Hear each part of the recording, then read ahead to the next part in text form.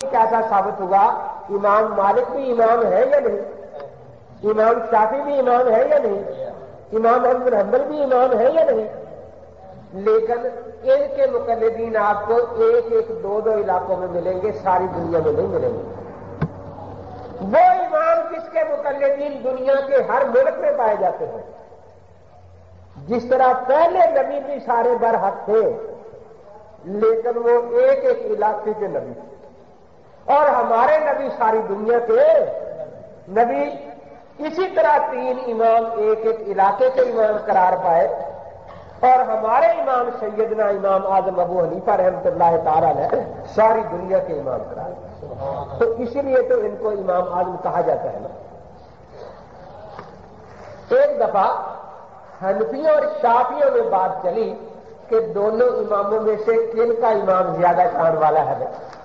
شوق ہوتا ہے نا لوگوں اپنے استاد کا شان بیان کرنا، اپنے شہر کا بیان کرنا، اپنے امام کا شان بیان کرنا۔ ایک تو حدیث بیٹھے تھے، انہوں نے کہا کہ بھائی، وہ بات کرتا ہے، ادھر سے بات شروع ہو جاتی ہے، ایک دوسرے کی سنتے تو ہو نہیں، فیصلہ کیسے ہوگا؟ تو میرا خیال یہ ہے کہ ایک بات کریں، ہم سب سنیں، پھر دوسرا بات کریں، پھر سنیں گے تو فیصلہ ہوگا۔ ٹھیک ہے۔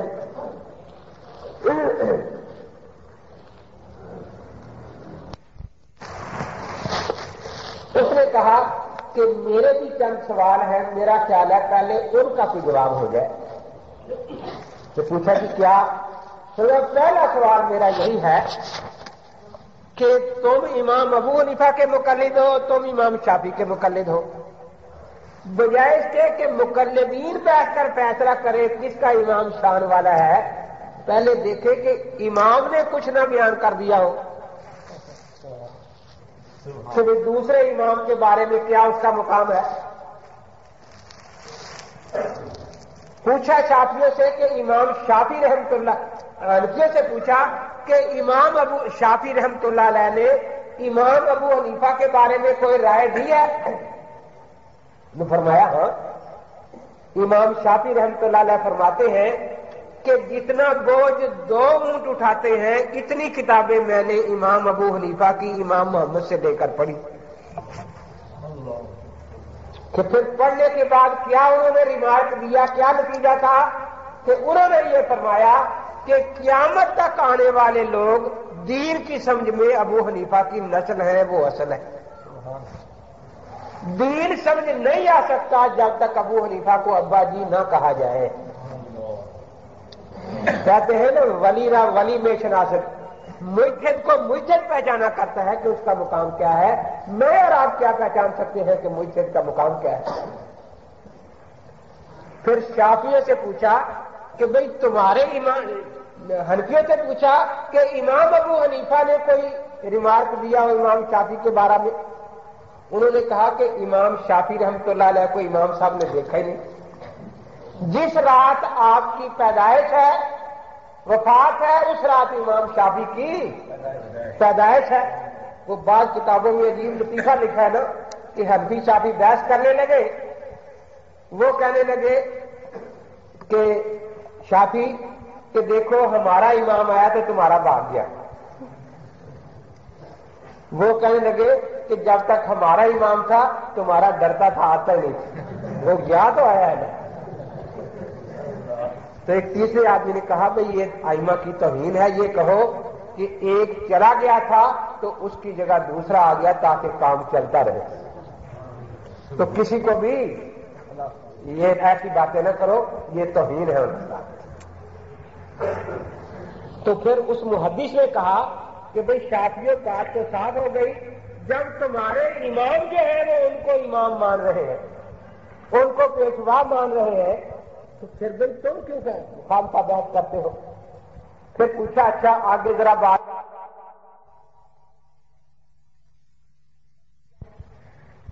چار ہزار اور سینتیس میں کوئی فرق ہے یا نہیں؟ فرمایا کہ بھی یہاں بھی امام ابو حنیفہ رحمت اللہ کا پلہ بہت باری ہے۔ زمین آسمان کا فرق ہو رہا ہے۔ پھر انہوں نے فرمایا کہ اچھا بڑی مشہور بات ہے اور دنیا سے حقیقت کو مانتی ہے کہ درخت اپنے پھل سے بھی پہچانا جاتا ہے امام شافی کے شاگرد کتنے اور کیا کر رہے ہیں؟ کیونکہ دو شاگرد ہیں، مشہور مجنی اور بویتی، مدرسوں میں پڑھا رہے ہیں۔ ٹھیک ہے۔ امام ابو حنیفہ کے شاگرد کتنے ہیں بھائی؟ اور کیا کر رہے ہیں؟ تو بتایا گیا کہ چار سو شاگرد تو قاضیوں میں جج لگے ہوئے ہیں۔ عدالتوں میں جج لگے ہوئے چار سو شاگرد۔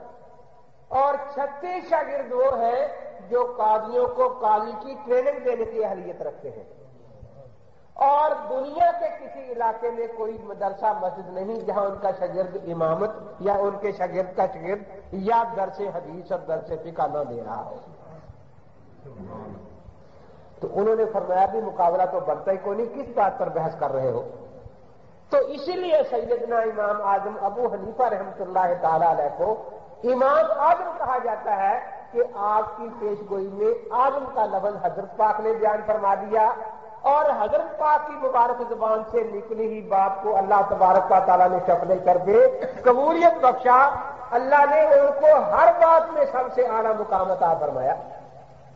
عبادت کو دیکھے تو چاروں اماموں میں ایک ہی امام ہے جس کے بارے میں آپ پڑھیں گے کہ چالیس سال عشاء کے وضو کے ساتھ فجر کی نماز ادا فرمائی۔ اب یہ کام کرنا مشکل ہے، لیکن کرنے والے پر اعتراض کر دینا آسان ہے۔ میں گلشن اقبال کراچی میں گیا، ایک دوست پار لے گیا مجھے، میں اندر بیٹھا تھا، وہ باہر بیٹھا تھا۔ جامع ابھی بکر سات قریب دار مکملوں کا مدرسہ تھا، دو مولوی صاحب آئے کہ سنے یہاں امیر صاحب آئے تھے بھی ہم آئے۔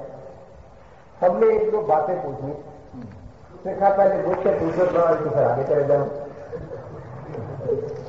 دیکھا کہ جو امام صاحب ساری رات کی بات کرتے تھے، یہ بدت نہیں۔ یہ خود تو نہیں کر سکتے نا۔ یہ بدت نہیں۔ دیکھا کہ ورلہ دینا جو تو انہوں نے رب سج دن کا قیام ہے اس ایسا کرنا بنا دیں کہ اللہ کے نیک بندے وہ ہیں جو رات بھر سجدے اور قیام میں گزار دیتے ہیں۔ تو اگر امام صاحب نے اس آیت پر عمل کر لیا تو کون سا گنا ہو گیا؟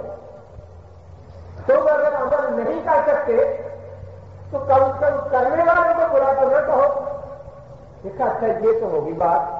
میں نے تو جواب دے دیا، لیکن مجھے بھی ایک بات بتا دو کہ امام بخاری رحمت اللہ علیہ ہر حدیث لکھنے سے پہلے غسل کرتے تھے، دو نفل پڑھتے تھے، یہ سنت ہے یا بدت ہے؟